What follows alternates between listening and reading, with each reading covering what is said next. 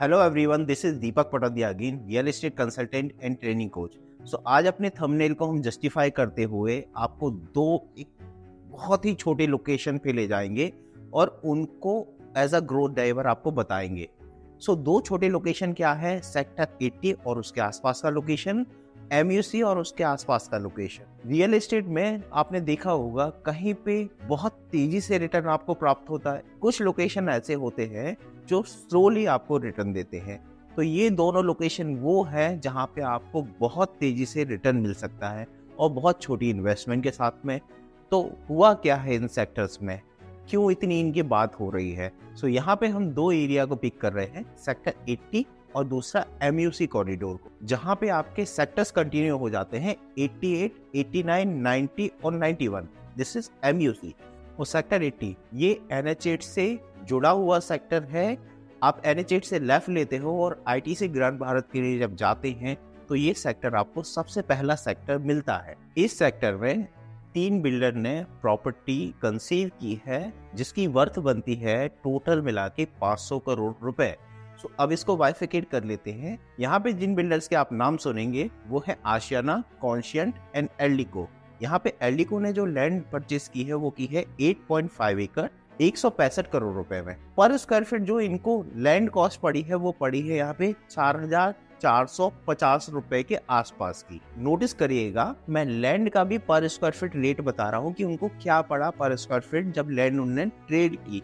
और मैं ऑलमोस्ट हर बिल्डर के साथ करूँगा। इस चैप्टर को जब मैं ख़त्म करूँगा, इन तीनों बिल्डर के बारे में बताने के बाद में तो मैं आपको इसका कॉन्सेप्ट क्लियर करूँगा कि ये क्यों मैं बता रहा हूँ। कॉन्शियन के पास यहाँ जो लैंड है, वो है 6.6 एकड़ जिसमें वो आपको साइजेस प्रोवाइड कर रहा है 2000 स्क्वायर फीट का 2400 स्क्वायर फीट का और 2800 स्क्वायर फीट का। यहाँ पे जो इसकी परचेसिंग आ जाती है लैंड की, दो हज़ार सात सौ तिरासी रुपए पर स्क्वायर फीट जो कॉन्शियड ने एच एस आर डी से परचेस की है। इसके एडजॉइनिंग शोभा के पास में भी कर्मा लेक लैंड के साथ में जेबी में एक लैंड पड़ी हुई है, जो बत्तीस एकड़ की है। यहाँ पे आपको रिजॉर्ट लिविंग एक्सपीरियंस वो प्रोवाइड करने वाला है। सबसे महँगी लैंड ट्रेड वैल्यू शोभा की ही है। Plus H S I D से खरीदी हुई एक और लैंड बच जाती है, वो है आशियाना की, जहाँ पे आशियाना के पास में 10.03 एकड़ लैंड है। अब मैं आ जाता हूँ उस गेम पे जो मैं आपको सिखाना चाह रहा हूँ। आपको मैंने क्या बताया था? कॉन्शियन के पास में पर स्क्वायर फीट लैंड कितने की है? दो हज़ार सात सौ तिरासी रुपए पर स्क्वायर फीट की। और यहाँ पे एंडिगो के पास में जो पर स्क्वायर फीट लैंड है, वो है चार हज़ार चार सौ छप्पन रुपए की। कॉन्शियंट ने जो पर स्क्वायर फीट अपना लॉन्च किया है, वो किया है चौदह हज़ार पाँच सौ रुपए पर स्क्वायर फीट पे। उसकी लैंड कॉस्ट सस्ती है तो उसने तब भी कितना किया है? चौदह हज़ार पाँच सौ रुपए पर स्क्वायर फीट पे। मतलब चल क्या रहा है?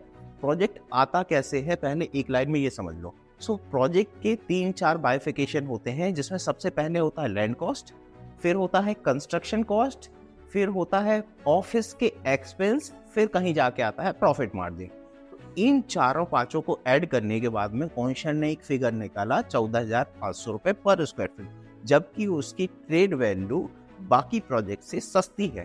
तो इसका मतलब क्या निकलता है? अब जो भी लॉन्चेस आएँगे अगर उन्हें प्रॉफिट कमाना है तो वो कॉन्शियंट से महँगे ही आएँगे। यहाँ पे सबसे सस्ता जो प्रोजेक्ट होने वाला है, वो कॉन्शियंट होने वाला है और सबसे महँगा जो प्रोजेक्ट यहाँ पे निकल के आया है, वो शोभा निकल के आया है। तो सबसे सस्ते पे तो हमने बात कर ली कि रीजन क्या है। सबसे महँगे पे बात कर लेते हैं। शोभा एक वैसा प्रोजेक्ट है जो एक लिविंग के साथ में एक रिजॉर्ट लिविंग एक्सपीरियंस भी प्रोवाइड करेगा। तो एनसीआर में कौन सी ऐसी प्रॉपर्टीज़ है जहाँ पे जाने के बाद में आप वाव फील करते हैं?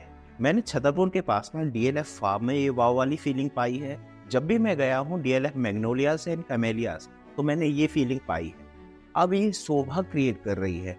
तो कोई ये इन्वेस्टमेंट प्रोडक्ट नहीं है, ये वो प्रोडक्ट है जो एंड यूज़ मार्केट के लिए होता है। मतलब यहाँ पे इंडिया के वो लोग रहेंगे जो किसी कंपनी को चलाते होंगे या इंडिया में बहुत बड़े डिसीजंस लेते होंगे। तो अब हम इस लोकेशन को थोड़ा मैप में समझ लेते हैं कौन कौन से मेजर रोड आपके पास में है और क्या क्या रोड ड्राइवर आपके पास में अवेलेबल हैं। सो so, जब हम सेक्टर 80 की बात करते हैं तो हम एस रोड से निकलने वाली एक रोड है which is upper S road इसको हम नहीं बोल सकते क्योंकि ये अब यहाँ तक ब्लैक टॉप हो गई है। तो एक कनेक्टिविटी आपको ये मिल जाती है एसपीआर रोड से होते हुए आप यहाँ पे आते हैं और यहाँ से आप अपना राइट ले लेते हैं और सेक्टर 80 के लिए आ जाते हैं। दूसरी कनेक्टिविटी आपको मिलती है एन से, जहाँ पे आप टोल क्रॉस करने के बाद में फ़र्स्ट अंडरपास की जगह सेकेंड अंडरपास से लेफ़्ट लेते हैं और सेक्टर 80 के लिए आ जाते हैं। इन फ्यूचर आपको कौन सी मेजर रोड मिलने वाली है? इसी रोड को आप सेक्टर 80 से एग्जिट लेने के बाद में राइट की तरफ़ जब आते हैं तो एक ये रोड आपको प्रपोज दिख रही होगी। ताउडू से होते हुए, गोल्फ कोर्स एक्सटेंशन रोड के पीछे होते हुए आपको फरीदाबाद तक ये लेके जा रही है। तो ये एक रोड है जो फ्यूचर प्रपोज रोड है। इन फ्यूचर आपको मिल सकती है ये।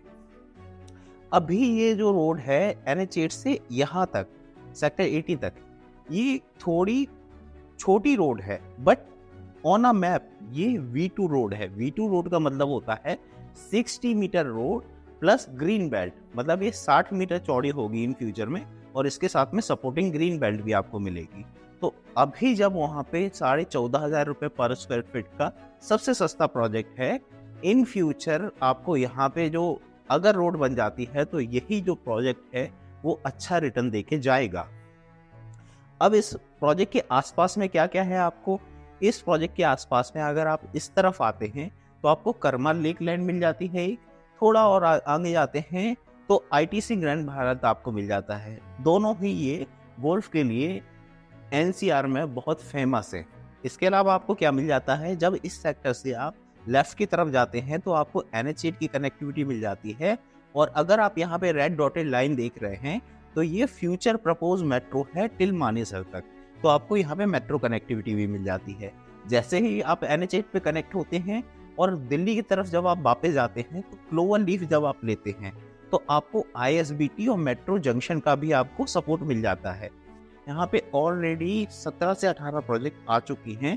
यहाँ पे आपको plotting high rise low rise सब कुछ यहाँ पे अवेलेबल होता है। तो यहाँ पे आपको बेस्टेक का प्रोजेक्ट मिल जाता है सिग्नेचर का प्रोजेक्ट मिल जाता है मेप्सको का प्रोजेक्ट मिल जाता है। यहाँ पे आपको कुछ नए बिल्डर्स के प्रोजेक्ट मिल जाते हैं एम थ्री एम के प्रोजेक्ट्स मिल जाते हैं। तो यहाँ पे ऑलरेडी लोग रह रहे हैं, वो अपना डेली आना जाना यहाँ से कर रहे हैं। सो आज हमें दो लोकेशन कवर करने हैं। सेक्टर एट्टी और उसकी सराउंडिंग मैंने बता दी, यहाँ के प्रोजेक्ट्स भी बता दिए।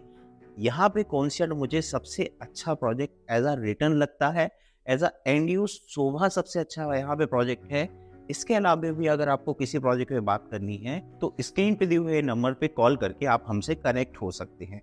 अब चलते हैं हम अपने second topic MUC multi utility corridor ये जो रेड लाइन देख रहे हैं आप, जो मानिसा तक कनेक्ट कर रही है, और कोई भी road except N H eight और पटौदी स्टेट हाईवे इसके अलावा कोई भी न्यू गुड़गांव की रोड मानेसर को डायरेक्ट कनेक्टिविटी नहीं दे रही है।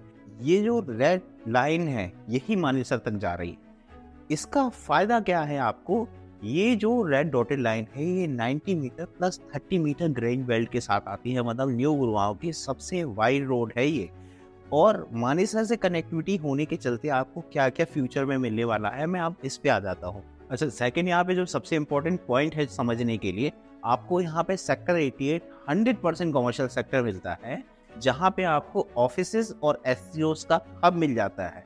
तो जब ऑफ़िस और एस आपके इतने पास रहेंगे तो आपको रेंटल अप्रिसिएशन अच्छा मिलेगा। Rental appreciation is equal to आपकी आर तो आपको रीसेल भी वहाँ पे बहुत अच्छी मिलेगी। तो आपको ये वाला सेक्टर है जो आपको 100 परसेंट कॉमर्शियल सेक्टर मिल जाता है। तो सर्विस सेक्टर आपके पास में है, आपके पास में मैन्युफैक्चरिंग पूरा का पूरा एरिया आपके सामने से निकल रहा है। द्वारका एक्सप्रेस वे से आप कनेक्टेड हैं और इसके साथ में यहाँ होते हुए आप के एम पी से कनेक्टेड है। अब मैं आता हूँ मेजर रोड्स पे M U C Pataudi state highway national highway और द्वारका एक्सप्रेस वे सबसे आपको ब्लैक टॉप रोड आज से ही मिल रही है तो आप हर जगह से कनेक्टेड हैं।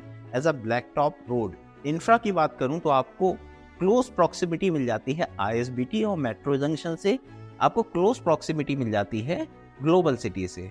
तो जो भी फ्यूचर में बड़े इवेंट आ रहे हैं गुड़गांव में, आपको उनसे हर जगह से आपको कनेक्टिविटी और प्राइस अप्रिसिएशन का फैक्टर मिल रहा है।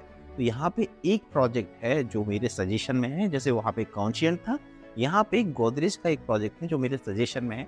इसका आइकॉनिक टावर आ रहा है आइकॉनिक टावर आपने जिस प्रोजेक्ट में भी देखा होगा, वो एंड यूज़र के लिए ड्रीम लोकेशन होता है क्योंकि उसकी वेंटिलेशन उसका व्यू उसका और उसके साइजेस सारे बहुत अच्छे होते हैं। सो आप स्क्रीन पे दिए हुए नंबर पे फ़ोन कर सकते हैं। आपके सजेशंस भी मेरे लिए हमेशा वेलकम रहे हैं। आप भी मुझे सजेशन दे सकते हैं कि किन लोकेशंस पे ज़्यादा तेज रिटर्न आएगा। तो मैं उन लोकेशंस पे भी वर्किंग करूँगा और आपके लिए एक वीडियो लाऊँगा। Thank you very much stay tune